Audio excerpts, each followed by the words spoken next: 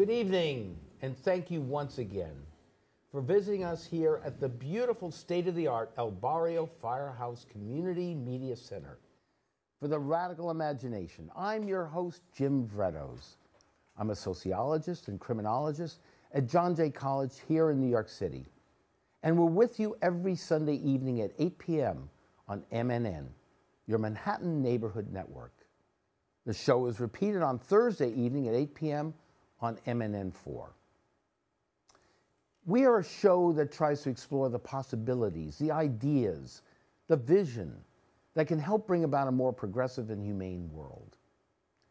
We're committed to the view that a radical imagination is necessary to help break us out of long tolerated patterns in a world that is increasingly destructive and dysfunctional for more and more of humanity the old paradigms and ideas have largely proven to be failures and have led to endless wars, unbearable poverty for most of the world's population, and a crushing of the human spirit and Mother Earth. This show imagines the possibilities of that more humane world and the need to work toward it with new transformative ideas, strategies, and action.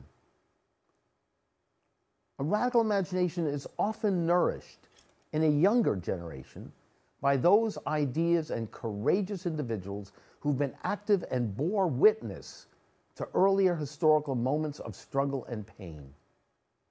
We have two of these individuals here tonight on this show. Iconic progressive figures who have spent their entire lives continuing the tradition to the present day.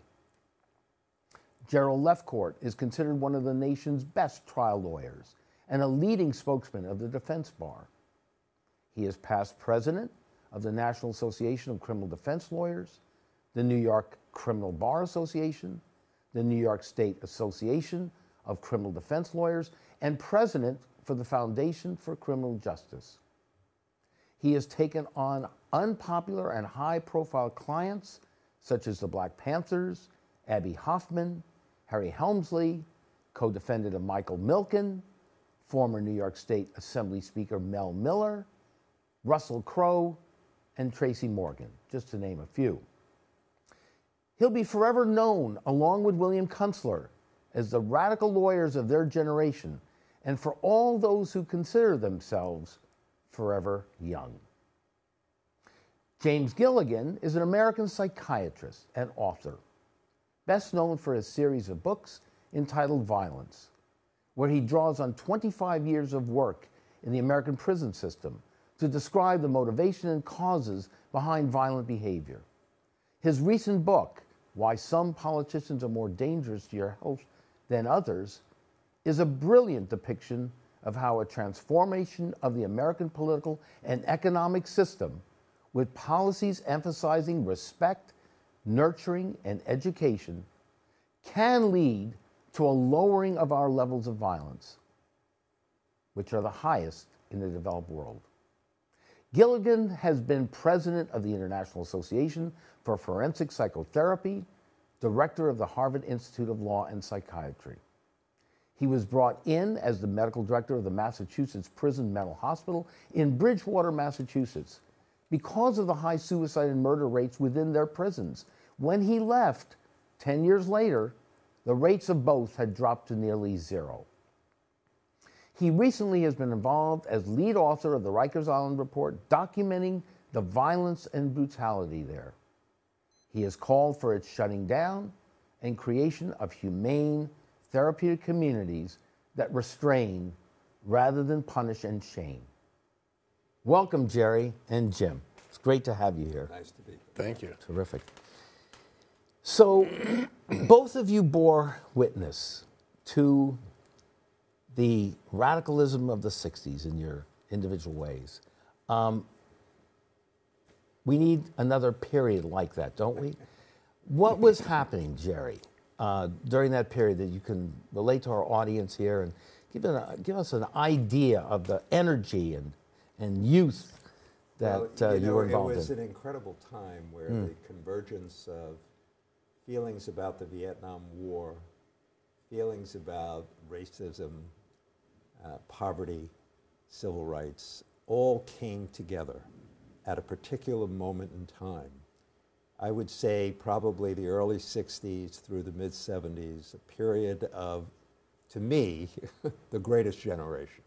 Because uh, I remember one of my clients, Abbie Hoffman, was asked way back in 1989, after all of this was over, uh, what did it all mean? What did that period really mean? And without missing a beat, he said, well, we didn't end uh, racism, we ended Jim Crow. We also ended the notion you could send uh, 100,000 troops 10,000 miles away without the people's consent. And even the president has to talk about child care nowadays. And so he said we were young, we were crazy, silly, but we were right. And that, that whole time made changes that obviously uh, we have benefited from for many years with the women's movement, civil rights movement, a black president, and the like. Exactly. But, well, we'll get back to that. Whether Jim Crow has been finally uh, destroyed is, is a question, and we could Well, and no certainly we'll question talk about that there are as we go on. Yeah, the new Jim Crow, Yeah. uh, Michelle Alexander's great book. And and Jim, what were you doing at this time? I was uh, in medical school, but I've always been politically active, so I uh, went to Washington several times to lobby our congressmen and senators against the Vietnam War and against the patterns of racial segregation and discrimination that we still suffered from. Um, and uh, th- there's no question there was more activism then uh, than, there, than there has been recently. And that certainly has puzzled and disturbed many of us. Why aren't um, young people and middle aged and elderly people rising up, you know, unanimously uh, to protest against uh, the uh, outrages that continue to happen in America? We talk about overthrowing Jim Crow, and you're absolutely right. There's the new Jim Crow, which we now call mass incarceration, which has been a, a way to reinstitute white supremacy by putting a disproportionate number of African American men in prisons, disenfranchising them so they can no longer vote, rendering them uh, essentially un, uh, unable to get a job when they leave prison, uh, brutalizing them while they're in prison, and then acting surprised when they show the results of some of that uh, sometimes when they, when they leave. Um, we have so much to protest against in this country at this point that is unconscionable and inexcusable. And uh, I, I would love to see the same degree of passion about politics uh, in, in the world of America today that we saw in the 60s, 50 years ago. The moral outrage, the righteous indignation Yeah. uh, that you felt also and took up the cause in the courtroom, right? Yeah. So that You know, was a lightning rod there, To right? me, was- I've always been uh, very affected by racial issues.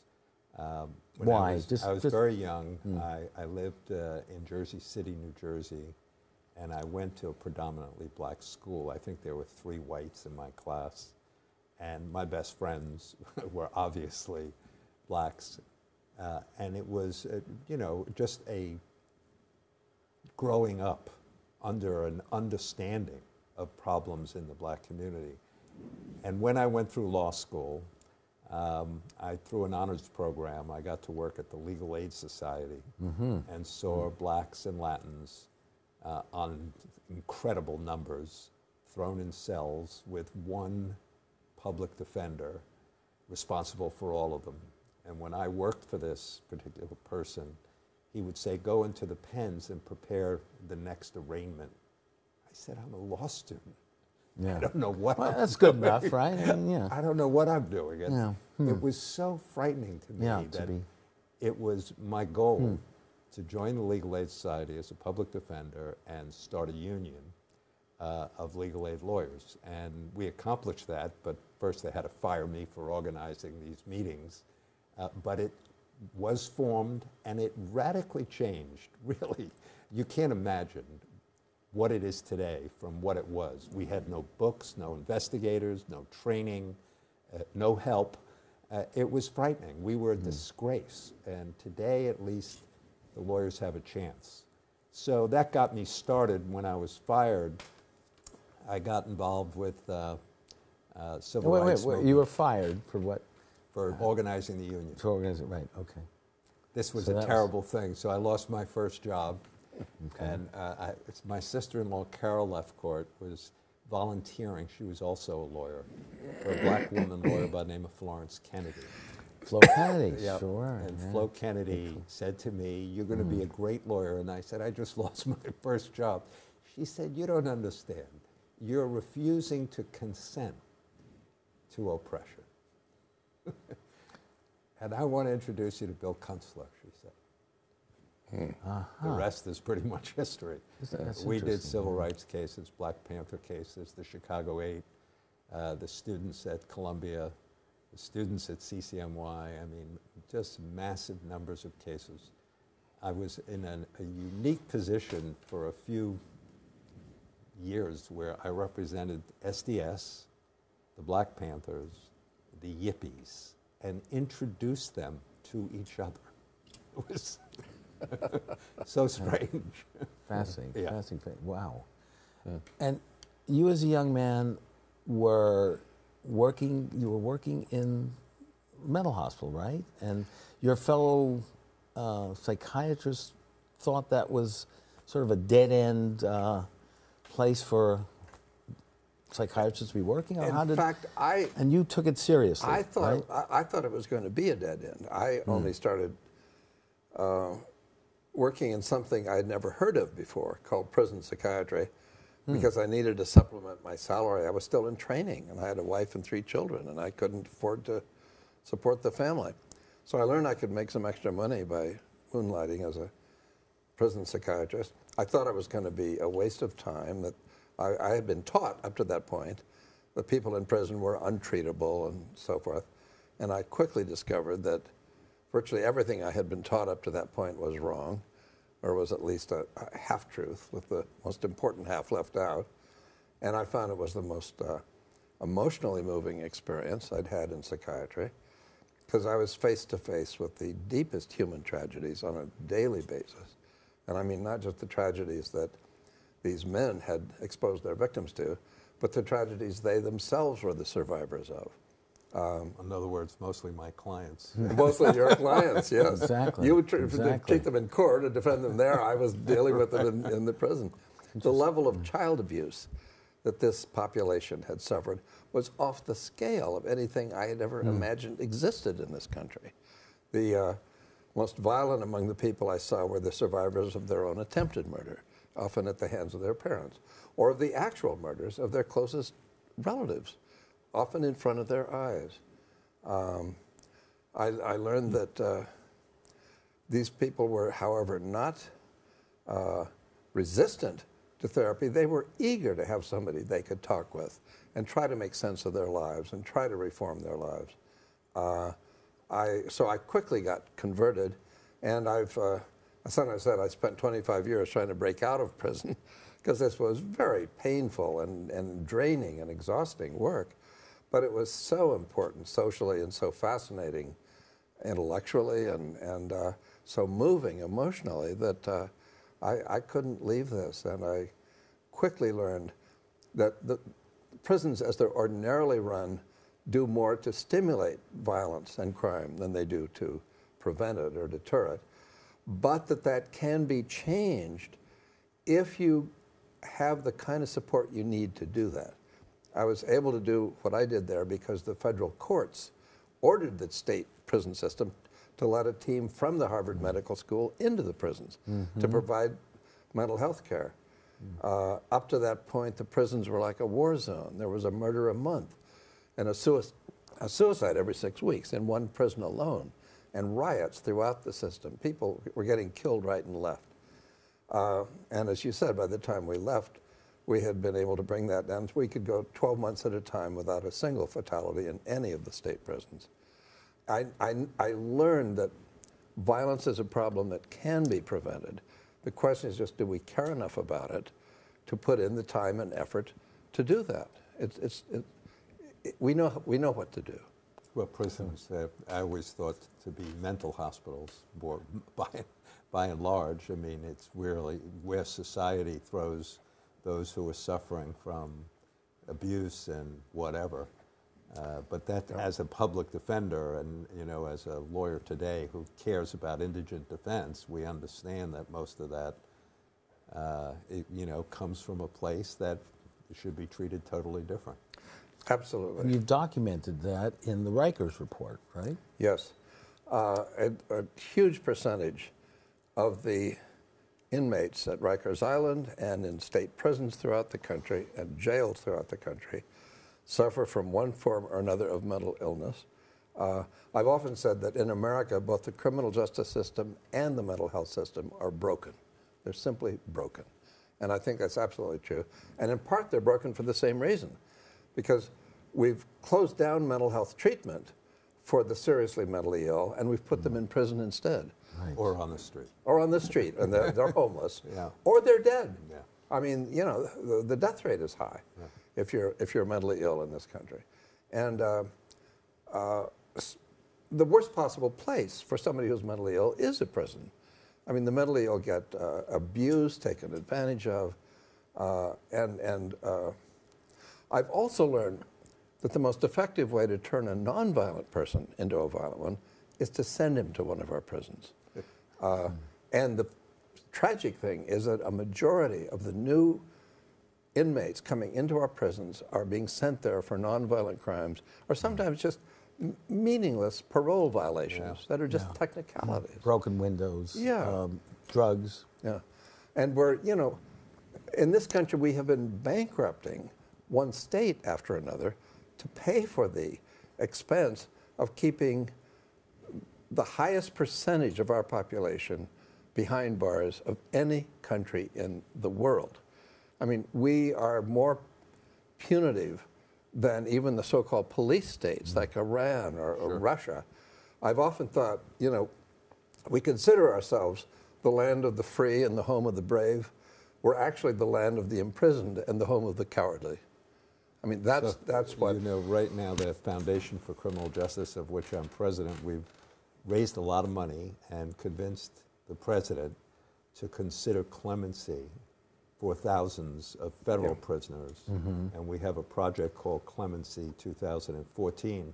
We've organized over a thousand volunteer lawyers to do clemency petitions. And the criteria for those who would be eligible is you have to have been in 10 years or more. And it has to be a nonviolent case. Can you Wow. imagine? Just to start with Yeah, that yeah. as criteria? Well, being very politically safe here, right? And and you're still probably well. What sort of reaction are you getting from the president? The president somewhat says open to- through their what through White House counsel Right. that he is seriously going to do a lot of these clemency petitions. He's going to grant them, And and we're going to see believe that. every quarter mm.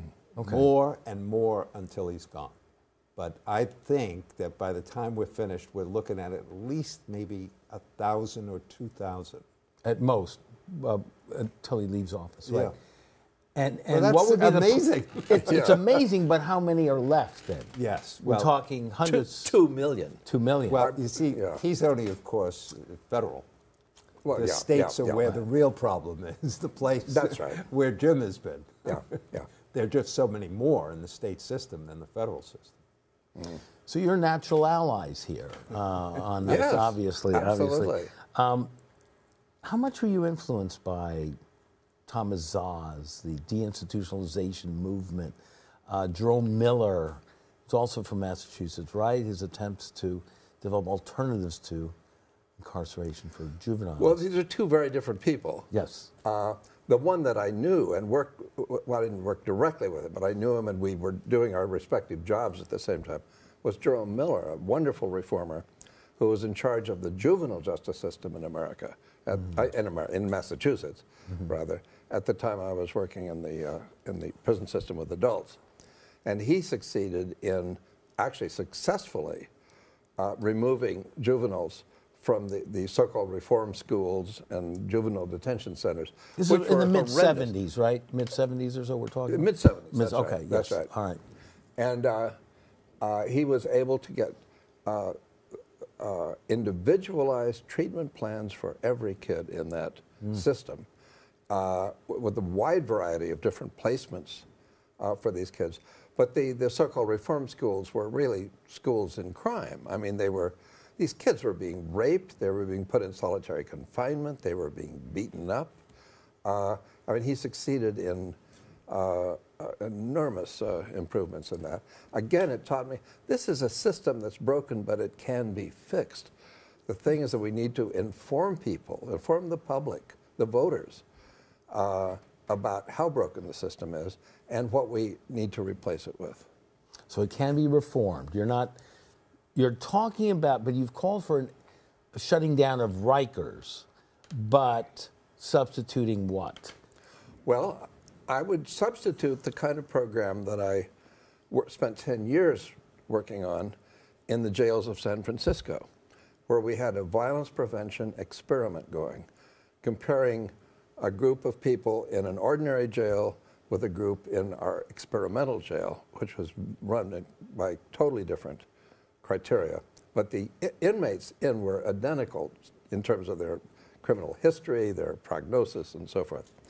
Um, what we found is that by providing intensive treatment and education with the, these violent men, they were all violent men that we worked with, um, and we had them in programs that were well designed, highly structured, six days a week, 12 hours a day. They were immersed in learning things, in group discussions, in being exposed to victims of crime so they could see how much suffering they had caused to people.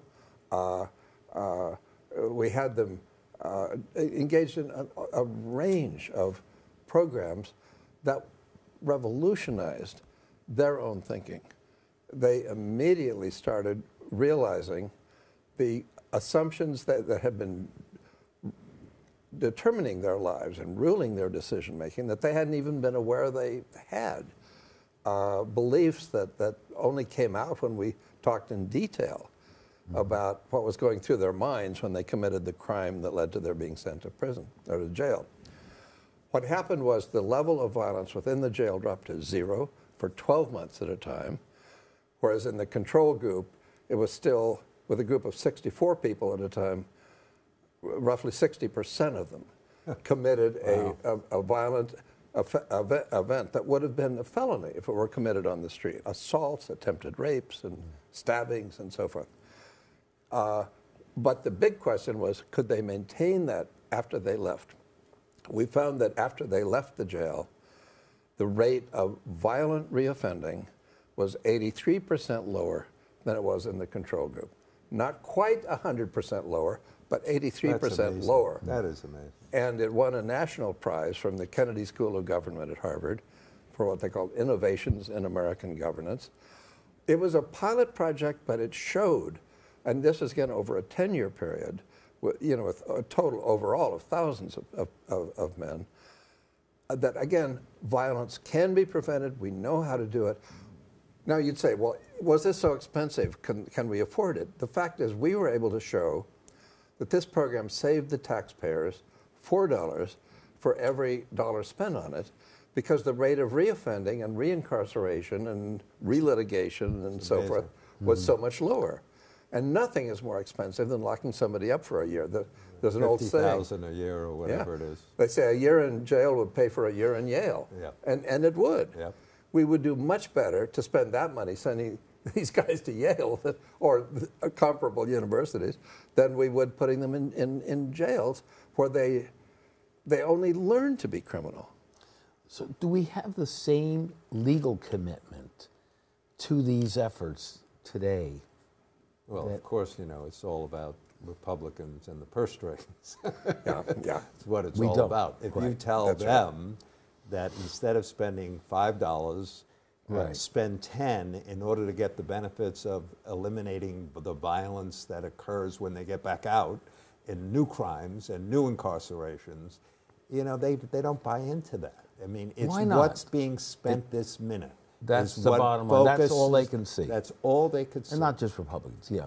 It's a fear based criminal Yeah. justice system that we are unwilling to give other sort of alternatives a chance, proven, empirically proven to be. We are at a very strange moment in the criminal justice system. Tell me, I mean, it's yeah. just never been anything like this. I mean, as somebody who has been lobbying Congress on criminal justice issues my whole life, Right. and certainly as president of as NACDL and now the foundation, Right. is that it, it was always the case that the Republican conservatives wanted to make it worse. More, more sentences, longer sentences. More punishment, But right. this is a unique time because people like the Koch brothers understand that this whole craziness about jailing everybody and never providing anything, no indigent services of any kind for the poor, is Right. a just a recipe for disaster.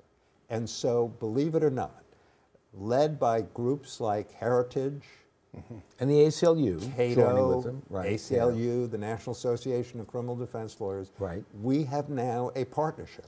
Mm-hmm. and we're trying to undo the crazy sentences that have been going on since probably the mid 80s when crack was very uh, popular and was causing just devastation in communities. And so, for the mm. first time, there's now a bill to reduce sentencing. 6,000 people are being released mm. on the federal level, not the, uh, the program I was talking about for clemency, but just in the change in the sentencing guidelines. Right, right. And so there is a strange moment here where the right and the left have come together with a realization that this is absurd. Now, they haven't yeah, come the together links, that's what I was going to say. Do they. on your issues, on mental health issues. Right. Are they linked in the heritage and so on, the Koch brothers, to what Jim is saying here? Well, that, that, that is a, a, a, a- the next level of sophistication. It mm-hmm. seems that to we me need to that- imagine and try to work on. Yes. Because again, what certainly that's what we need to do is get them out of these places and lower the sentences. But what are you going to do with them? Yeah, That's no what we haven't about dealt with as a society, as a culture. You know, one of the things that I mean, I'm listening to Jim and I'm fascinated because this is my whole life in criminal justice and he sees it from the inside more or less. But one of the things that has always been upsetting to us is the lack of training uh, of prison guards, police, uh, you know, which creates so many problems in our society. I mean, you know, Black Lives Matter is just the tip of the iceberg as to the problems with police and their view of the community and their interactions with the community, the same way prison guards and their interactions with the people that they house. You know, what's the answer there? How do we get a whole other system? I'll tell you what I am proposing. I mean, and again, I come at this from a medical background. Uh, I, I deal with violence. Uh, well, to me, violence in America, I don't think of it as a moral and legal problem. I think it is a problem in public health and preventive medicine. It, it leads to injury and death, like any other medical problem. And uh, I know that medicine has made the progress it has over the last century or century and a half mainly because we've established a kind of institution called a teaching hospital, affiliated with a medical school, which provides treatment for the sick, training for those who treat them, and research into the causes and cures of whatever kind of pathology is, is causing them to suffer a life threatening uh, illness. I'm suggesting that we demolish our existing prisons and rebuild them as locked, secure residential facilities whose purpose would be treatment and training and research for the violent people who get sent to them. And I would want to restrict this almost completely, as far as possible, just to those who've committed violent acts who are really endangering the safety of the public. There are other ways we can deal with people who abuse drugs or steal things or whatever, but it's the violent that really endangers society. And if we provided the kind of treatment that I've mentioned, for example, that we used in San Francisco, or maybe we can improve on that as we have more experience and learn more. Um, but I, I, instead, I wouldn't call this a teaching prison because that kind of implies we're continuing the prison model. Our modern prison system was only invented at the end of the 18th century and the early 19th century. It was a well meaning experiment in social engineering that has failed. And I think it's time for us now to acknowledge it's failed and to replace it with something else that's different from the architecture on up. The architecture of hmm. jails and prisons today would not be allowed in any zoo in America. We used to keep animals in the same kind of setting a concrete box with bars on the window. What we found was the animals die, they die out. So zookeepers have learned they have to create zoological parks to hmm. enable animals to live in the kind of environment they evolved to survive in. With people, we keep them in the same kind of concrete boxes that any zookeeper would be fired for putting animals in. And then we act surprised if they behave like animals. You know, we've treated them like that. What do we expect? So I would start with the architecture. I would create a, a different kind of setting that would be a kind of enclosed college and university and therapeutic community. Let me give you an example. In A Massachusetts, college, like in Massachusetts, we did a study one year when I was running the prison mental health program to find out what program had been most effective in preventing recidivism or reoffending after people left the prison. We found one program and only one that had been 100% effective over a 25 year period, and that was for the prisoners who got a free college education in the prison, a college degree. Not one of them was returned over a 25 year period. That's amazing. And I thought at first Versus 70% recidivism it rate. It's uh, 65 to 70 percent over three our years. system, yeah. Over three years. Right, right. In, an ord- in the state prisons in our country. Hmm. I thought we had missed some people, but we checked with the FBI, with national, with other states. This was a valid finding. And the fact is, um, when I reported this in a series of public lectures I was asked to give at, at Harvard, our new governor, uh, who was a Harvard graduate, uh, got a copy of my lecture. He- He was a former prosecutor who had been elected to office on the campaign promise to reintroduce prisoners to the joys of busting rocks. I mean, his idea was you, that no punishment is too severe, or severe enough, really. Is that the former U.S. Attorney of Yeah, Massachusetts? William Weld, Yeah, yes. Bill Weld. Yeah. Him. And uh, he said, We've got to stop this program of giving a free college education to prison inmates. Otherwise, people who are too poor to go to college are going to start committing crimes so they can get sent to just to prison get a co- and get a free college Yeah. education. Now, he was smart enough to know this was nonsense, but he was also smart enough to know that it could win him votes. And there would be some voters who would say, Yes, let's be tough on crime. Rather than asking a different question, is how can we actually protect the public and increase public safety? And that's an empirical question that can be answered by means of research, the kind of research I'm talking about. So I'm saying I would turn jails and prisons into schools. Those, you know, a lot of prisoners are illiterate. You'd start by teaching them to read and write, but there's no reason you can't continue all the way up to a college education. Was it also true of other kinds of skills other than a college education, such as learning electricity or carpentry or? It certainly is true. The one thing I would say is that the, the, the higher the degree of education, the more effective the, the, the, uh, the, the result. Uh, but there's no question, the, the more education, the better. Yeah. Uh, and um, Fascinating. Uh, one thing I learned is that most of the prison inmates were eager to get an education. They were only disappointed because so little was offered. So I mean, this notion that somehow this is a bunch of freeloaders who just want to sit around in prison and, you know, watch television and lift weights. They want something. You know, do. they, want something right, positive. Right, right. Boy, if you give that to them, uh, they jump at the chance, and then, lo and behold, they stop committing violent crimes. You know, I remember the change from the idea that prisons were to educate and reform, and there were programs in prison. And I guess along came politicians like Alphonse D'Amato, who said prisoners ought to suffer for what they've done. Yeah, yeah. you know, that So was the, that was the hmm. attitude imposed on society. Yeah. the political right. will that needs to be transformed. Right. Yeah.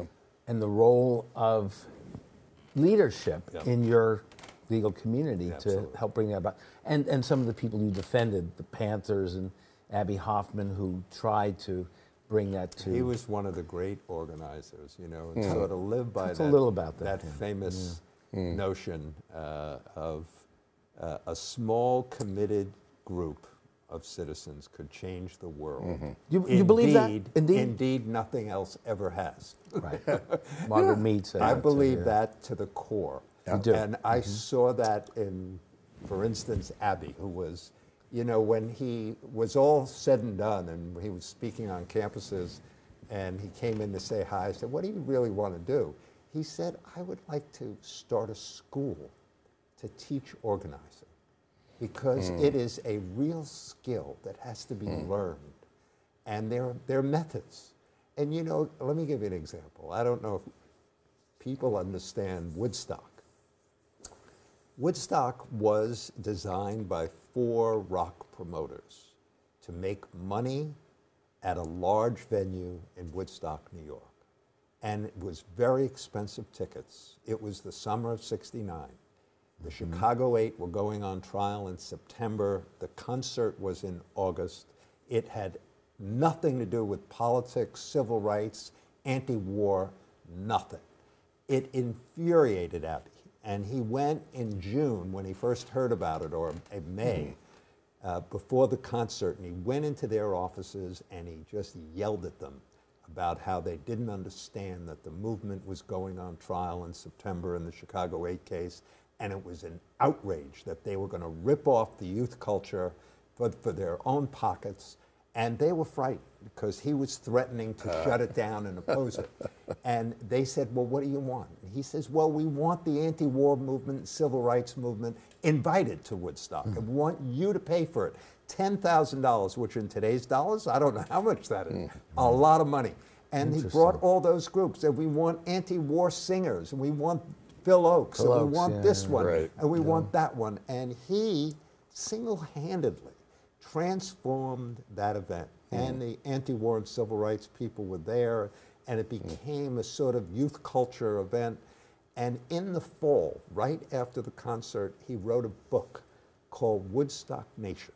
Mm-hmm. And when he mm-hmm. went on trial in the fall and got on the witness stand in December of 1969, the clerk said, Name and address. And he said, Abbie Hoffman, Woodstock Nation. And Judge Julius Hoffman said, What, what is that? Not related, by the way. And no, he said, Woodstock Nation is a state of mind, uh, like the Sioux Nation. Uh, and that is the whole one person. It is really quite, and there's so many events like that. The, the exorcism of the Pentagon, you remember that? and the- All of those mm. were creative, organizing events that people like Abbie were instrumental in thinking. And what you were saying about where are they now, you know, on the one hand, they don't need leadership because they got social media, but on the other hand, they need leadership, That's a good point. you know? Yeah. And, and do you see that leadership? I don't. um, I don't, you know, I mean, it- it's so fascinating when you would uh, think- Occupy, Yeah, Occupy and Possibly. Eric Garner Yeah. You know, the protests after Eric Garner, you didn't, you couldn't identify who the leaders were, but there were massive demonstrations. Uh, The West Side Highway was shut down, and all of this. But on the other hand, there weren't the kind of organizers and leaders that could continue Yeah. that stuff, you know. And I think on some level we're missing personalities who we needed. I, I agree. I agree. Um, I know Cornel West, who's on the show a couple weeks ago too, has been in the forefront of involved in various demonstrations, involved with him in protesting the trials uh, that back in 2011 stop, stop and frisk. Uh, try to carry that on uh, this past weekend with Rise Up October Right. mixed results. I think to expand it out into the streets to get the sort of thousands and thousands of people involved in this that need to be involved. Well, when you think remains to be about the, seen. the Um, civil rights and anti-war demonstrations of the that Kings, period, Malcolm X, the way they the would Panthers. develop was, you know, there was the mobilization to end the war in Vietnam. What was that? The Mobe, they called it. Mm. It was all these groups, religious, Coalition, Catholic yeah. charities, Abbie Hoffman, you know, the pacifists, the SDSers, they would all meet and figure out, let's do this date. No, not that date. What are you going to do to organize? And it was, you know what? It was a committed group. Yeah. That member organizations that made those things to bring a million people to Washington D.C. You know, half a million people saying stop the trial in the Chicago Eight in front of the Justice Department. Those things don't happen without planning and thinking, and that's what I think we're lacking. Throw out a name, William Barber of Moral Mondays. I don't know if you're familiar with some of his work. We're going to have him hopefully on the show in a few weeks and so on. But but the moral outrage you were talking about, the ra- the, the moral indignation that seems to be lacking, that uh, because the counter movement to the 60s has been so forceful and so persistent, it's it's we're smashed still people fighting. down. We're, still, still fighting, that for the hearts and minds of the 60s. That's and, right. and and you've written a book uh, attempting to transform the political system or, or or make us more aware of the needs to have a more caring, nurturing uh, political process. So you can tell us a Yeah, little well, about that. Well, let me that. tell you, how I've, I've sort of gone from my kind of clinical work with individuals in the prison system to trying to look at a, kind of public health approach of how to deal with how to prevent epidemics of violence uh, in society at large. What I discovered was, and this is from the government's own uh, vital health statistics, that in the United States, from 1900 to the present, rates of both suicide and homicide, which go up and down together, they parallel each other, uh, have increased when Republicans have been elected to the White House. That's and, so have, and have decreased when Democrats have been elected to the White House at levels that are statistically significant beyond any Why? question. The reason uh, is I think there are three social causal mechanisms for this correlation. One is that in every single Republican administration since 1900, the rate and the duration of unemployment have increased. That's without a single exception. And in every single Democratic administration, the rate and the duration of unemployment have both plummeted, really fallen down. And unemployment is, has independently of party, has been shown many times to uh, be a, a statistically valid predictor of both suicide and homicide. Uh, they're, they're correlated far beyond chance. around the world and Around the world, As well. there are similar findings in uh, the United Kingdom, in Australia, in Germany. I mean, there are many, many replications of this elsewhere. Uh, also, when Republicans have been in power, there have been much more frequent recessions and depressions. They've been much deeper and they've lasted longer than when the Democrats were in power. Finally, the degree of inequality of income and of wealth have been much higher under uh, Republican administrations than under Democratic. The only thing that is amazing to me and I think really cries out for explanation, is why do people keep electing Republicans? I mean, it doesn't make any sense in terms of the public's own self interest in having a society that is more prosperous, more equal, less violent, and, and safer Well, for have you ever heard of Citizens United? Exactly. That's why the Supreme Court is so important Yeah. to us. Yeah. I mean, here you have a decision that says a corporation is a person. Yeah. It Yeah. has First Amendment rights. And And of can course- give as much money as they want. And of course, we'll believe that once a corporation can get sentenced to prison. Yeah. Then we'll know a corporation really is a person. Right. But somehow that's never happened. So Bernie is on to something, right? Oh, of course. Of course. And we, we Oh, need- he gets it. he Yeah, gets yeah. it, and we need to get your book uh, to him as well on this. But Well, I'd like to give my book to all politicians who Right. could uh, understand it, and and I just want to get the message out. It's not a question of me or my book. This is the government's data. I, all I noticed is what it showed. I mean, I didn't create the data. The government measures death rates every year by cause, so we know the rates of so- homicide and suicide, and we know those more accurately than for any other form of violence. Because with lethal violence, you have a dead body and you can count dead bodies. There's no question that this happened. And it's uh, so hard to understand. You know, it, it- Republicans care about this country being healthy and strong and pretty, yet our infrastructure is just caving in. Bridges, I mean, roads. It is such a disaster, and there's just won't relinquish a penny. You know, that was always funded uh, by gas tax or tax on cigarettes or. well, they don't need to participate in that sort of um, public access, right?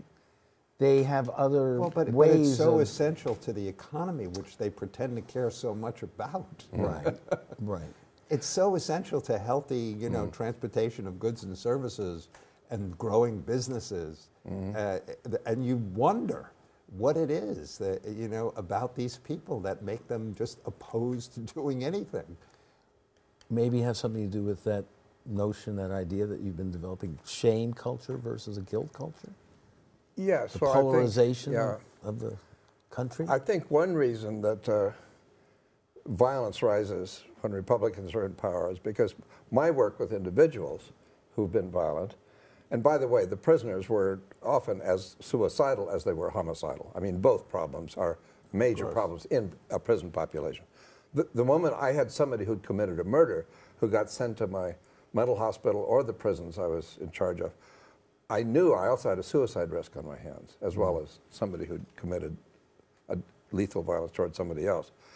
Well, what I learned was the main cause at an emotional, psychological level, an individual level, the main cause of violence toward others or toward the self is people feeling ashamed and humiliated. And that can take a, we have 40 synonyms for what I'm calling shame. Like we have 40 synonyms for the word flower, you know, roses, daffodils. People, I would ask violent men why they had committed an assault or, on somebody or even killed them. They'd say it was because he disrespected me. And they use that term so often, they abbreviated it into the slang term, he dissed me. And I figured anytime somebody uses a word so often, they, they abbreviate it, it tells you something about how central it is in their moral and emotional vocabulary. Mm-hmm. So, what unemployment does, which the Republicans bring with them, is it humiliates people. I mean, nothing is more humiliating than to be told, you are worthless. I mean, you are worth nothing. You aren't even worth your salary. We're not going to pay you a penny because you're not worth anything to us. wage issues, and Yeah. all this stuff. Absolutely. And every economic policy that the Republicans have been advocating are, have the effect of humiliating people. I've read some, certainly not, not, not all of what you're talking about, but I always understood from a lot of psychiatrists, forensic people that I've worked with in courts, done about 60 murder cases, uh, that violence begets violence and that so many of um, the violent actors in the criminal justice system come from families where they experienced abuse and violence. Uh, is that part of the shame, or is that a synonym? Yes, I mean, I've often asked why child abuse, even when it doesn't kill the body, you know, would kill the soul of, of the person and turn the person into a violent offender. And what I realized was when you're getting beaten up by somebody or assaulted, battered, um, or abused in any other way, you're aware that the person doing that to you doesn't love you. I mean, even a pet dog knows it's not loved if it's being kicked and beaten. And children are certainly no less perceptive than dogs. And what I learned was that the people in the prisons had experienced the ultimate deprivation of love. They would tell me something I had never read about or heard before. They would say that they themselves had died. Yeah. Even Soul before they started killing anybody else. What they meant was their personality had died. Hmm. They felt numb inside. They felt dead. They were hmm. incapable of having any feelings, either emotions or physical sensations. They would mutilate themselves to see if they could have feelings and discover they were still numb. And I learned that that was preceded by an overwhelming humiliation, a feeling of just being treated like dirt, being treated worse than a pet dog. And uh, that's, that's the, the background of the, the most violent people in the, in the prisons. And that's why what is most needed is not more punishment. It's, it's treatment and understanding and giving the, pe- the person the resources they need to regain their self respect and their self esteem so they can at, at least develop some pride in themselves, as, some sense of dignity as a human being. Amazing work. Absolutely, and and so you're calling for not only this individual um, transformation as well, uh, but cultural transformation, Absolutely. political transformation that we need to be working toward. Um, Yep. And your recommendation is to to trans well not just to transform the prison system that's only Right. a part of this to transform the whole political and economic system um, to create greater equality i think equality is, is extremely important and central here because it's when people are told that they are unequal that they're inferior that's another synonym for shame and humiliation you're not as good as other people I understand and, of course, agree with your feelings about what Republicans do when they get in. But are there Democrats that talk about these issues? Because you don't hear it that much. You don't hear people talking about re- reform of a prison system or uh, a culture in that way. Actually, you're right. That's amazingly missing Yeah. in the public debate. That's why I keep trying to bring people's attention to this in hopes that we can get these issues onto the political radar screen. Because this is such the per- perfect time to Yeah. do that Yeah. with all of these groups coming together Yeah. over sentencing and crime. And that's Yeah. why we've, we've got Yeah. this show as well, so we Oh, can great. have this Yeah. uh, discussion. And I, I, I just Yeah. want to make a closing statement for us here. Um, the radical imagination is interested in continuing the dialogue with the great majority of the American population who find their voices and aspirations stifled by the traditional politics as usual, business as usual debate with America's political and economic elites. There is little of any question, particularly since the economic debacle of 2008, that there has been a dramatic upsurge in general discontent and overall questioning by the general public of the various institutions of authority that hold economic, cultural, political, and moral sway over them. We experienced that in the 60s. We would like to imagine and understand the possible form that this change and mass questioning might take today and encourage efforts that would manifest it in a principled civil disobedience and insurgent protest plea. We should start with the realization that these struggles are usually started by ordinary people who create the possibilities for igniting another period of progressive legislation and spiritual creativity within the traditions of protest and countercultural activities. If there's any justification for a belief in American exceptionalism, that unique message that supposedly explains what America is all about, what makes us different and proud, it is rooted in the American Revolution, the abolitionist movement, the labor movement, the Vietnam anti war movement, the suffragette movement, the welfare rights movement, the civil rights movement, the Attica Rebellion, Black Lives Matter, Occupy Wall Street, and countless other attempts by ordinary Americans who collectively rose up in anger and hoped to defy dominant authorities by speaking truth to power and creating alternative political and economic structures. Our guests tonight have both stood in the forefront of this struggle in their respective fields, and we see how these fields are inextricably linked. Jim Gilligan listened carefully to what ordinary mental patients were telling him about their feelings and pain of humiliation, shame and disrespect, and what these feelings could lead to in destructive and self destructive behavior. Jerry Lefcourt put his career and physical safety on the line numerous times in order to argue and take unpopular stands for often very unpopular and despised clients. We all know progressive gains need to be constantly defended. The state of law, liberty, and psychiatry in America is in a much better place today as a result of their efforts and continuing efforts to bring a radical imagination into concrete forms of policy and legislation. I want to thank them both so much for being guests tonight, Jerry Lefcourt and Jim Gilligan, for the love, intelligence, and courage they've manifested in their lives and brought into the movement struggle. Thank you all for joining us on MNN, and see you next week when we will have the director of the new Black Panther movie, Stanley Nelson, on, along with community activist and New York City media icon, Felipe Luciano. This is Jim Vrettos. Have a great week, and see you next week on The Radical Imagination.